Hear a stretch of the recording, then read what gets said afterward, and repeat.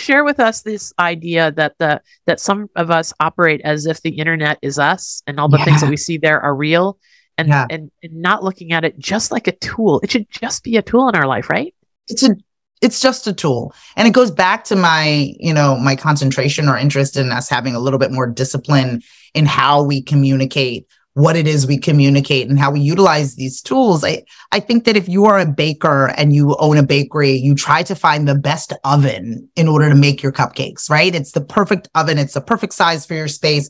It's the perfect tool for what it is that you need. And I think social media spaces and the world wide web are simply just tools that you use in order to be able to communicate what it is that you want and make sure that those tools are appropriate for you. Not all tools, not all ovens are ideal for that baker. And so not all tools that are available on the internet are ideal for you. And so to think that we are a prisoner of all of these tools and we are all of these things, it's just an exhausting going back to trying to be everything to everyone and sharing every emotion all of the time. It really does take away from the discipline and the the true intention of what it is that you're trying to say.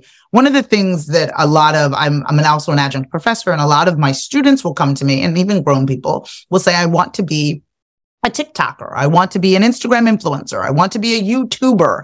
And for me, I always meet them and they, they I crunch my face and they're like, what? What's wrong? Do not think that I can do that.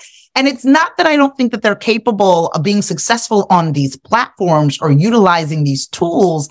I just don't think that there is such a thing as a TikToker, a YouTuber, an Instagram influencer. I think that there is a chef that uses TikTok I think that there's a comedian that uses Instagram. I believe it's a makeup artist that uses YouTube. These are tools that we use in order to convey our talents, our industries, and our expertise.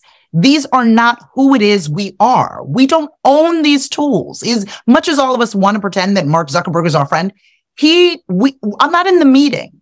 So I can't say that my expertise belongs to a tool in which I do not own. It's kind of like saying, oh, I'm an emailer.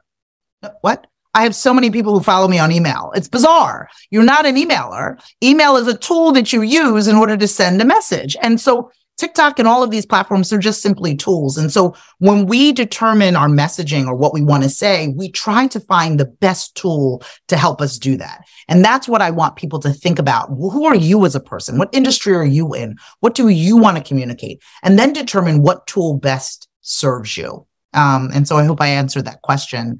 Um, yeah, but- I think that what you're saying is really true. Like it gets to something like, um, about the reason why I, I scratch my head about yeah. uh, about social media and spending so much time on it. Yeah. Because, you know, if you want to live with some meaning and purpose, yeah, um, y- you can't spend a lot of time on the places where right. where there is no meaning and purpose. I mean, it, it, there's nothing to kind. There's nothing. There is nothing to whisper about, right? Because here's the deal: the individuals that are the most successful on these platforms are grounded in industry. They are. They're grounded in industry, and that provides the stability in which they need. They're cooking all the time on TikTok. I can rely on them cooking. I can rely on their recipes. It's grounded in industry, talent, and expertise. The individuals that have a really hard time that are finding themselves in emotional situations, finding themselves losing opportunities, are not grounded in industry.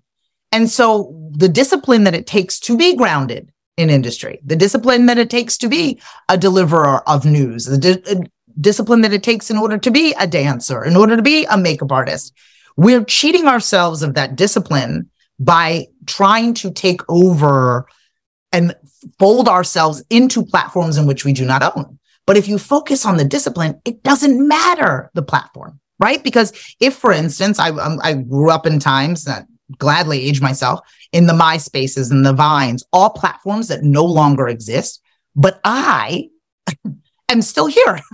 And I just need to find a new tool to use to be able to convey my talent. And so I just want young people or people in general to say, okay, what is it that I'm looking to communicate? What is it that I'm going to say in my elevated voice? And where does that voice need to live? What tool best serves me and where it is that I want to go?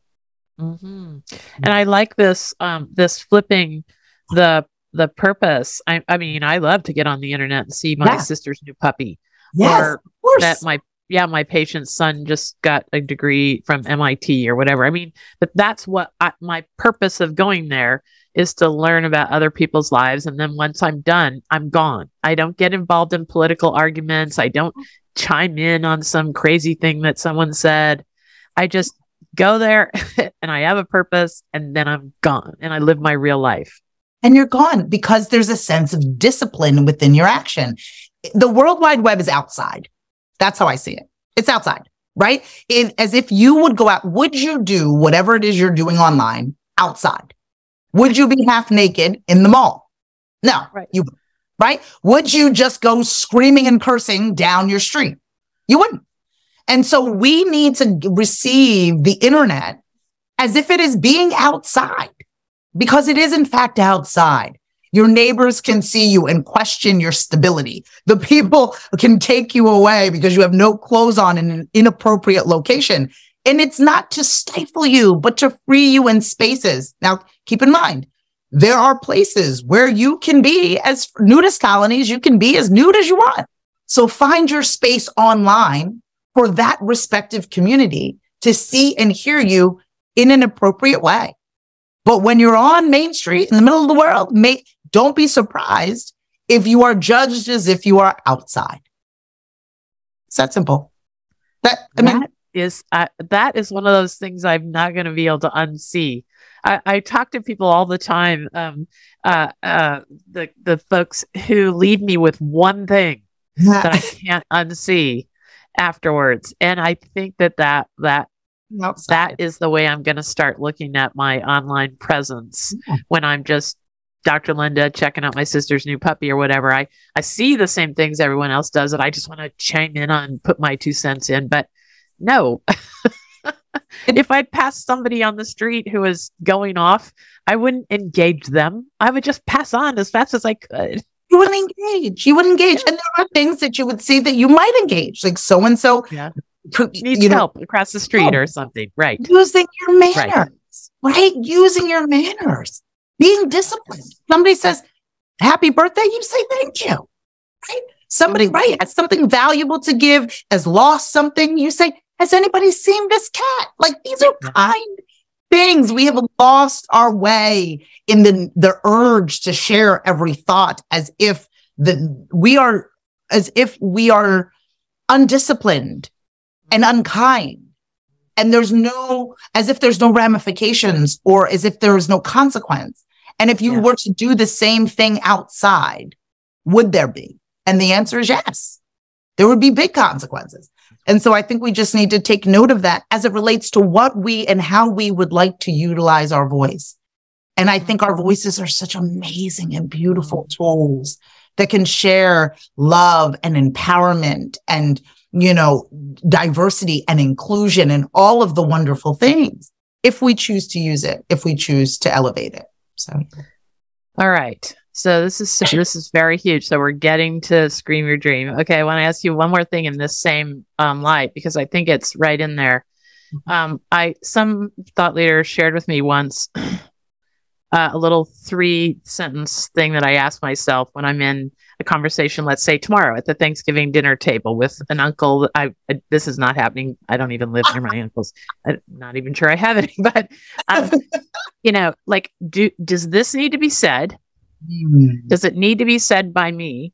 Yeah. And does it need to be said by me right now? Oh, okay, fair. Yeah. I constantly yeah.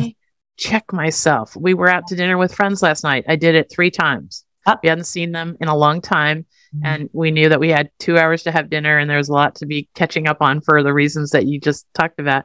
Sure. And I'm like, uh, does this need to be said? Does this need to be said by me? And, yeah. d- and, and, um, does it need to be said right now?